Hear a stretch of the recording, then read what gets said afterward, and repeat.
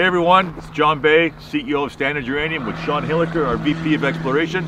Here we are today at our Sundog project. This is our Indian Head Lodge. Sean, tell our audience uh, what this camp's all about, what we use it for. Absolutely. So it's owned by Wendy and Greg McMillan.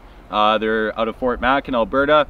They have this beautiful fishing lodge up here in Picnic Bay that you can see behind us. We're out on Stewart Island, uh, down right on our on our Sundog project. So we've been lucky enough to be able to work with them uh, using this as our base camp. We've added a few logging facilities and different yep. things like that uh, to basically turn it into an exploration camp. So we're up here and we're drilling right now. Awesome. So we just started drilling last week. Uh, we're going to be making several videos over the next few days, Sean. Yep. What are some of the things our audience can look forward to finding out about us? Well, we're going to show you around the camp. It's like I said, it's a beautiful place up here. We'll show you around our core land area. We'll take you through some of the different buildings. We got our office, the kitchen and mess hall, the rec shack, everything like that. So we'll walk you through camp, yep. see what life is like up here.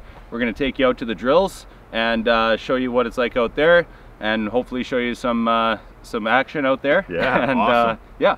Yeah. Perfect. Now, I said I'd be answering questions with shareholders. So the first one comes to us from uh, Taz in Vancouver. She wants to know, uh, why are we drilling Sundog before Davidson River this year? Sean, maybe answer that one. That's a great question. So like we've kind of mentioned in some previous videos, I believe, you know, the logistics just make great sense. We're up here, some of our targets are out on the ice. So it's a lot easier to drill on the ice than with a barge or something on the water like that everything just works beautifully like that. So it made really good sense for us to come up here, do our first inaugural program on Sundog in the winter, and then we're gonna turn around, you know, a few weeks later and we're right back to Davidson.